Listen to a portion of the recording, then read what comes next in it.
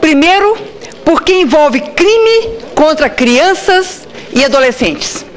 Segundo, porque mostra que o dinheiro corrompe pessoas, desvirtua costumes, destrói sentimentos.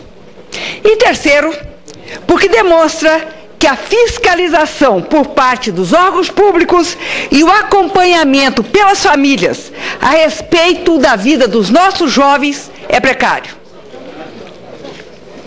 O assunto foi o estouro de uma rede de prostituição infantil em Mato Grosso do Sul, meu estado, que aliciava adolescentes, quase crianças, na porta das escolas.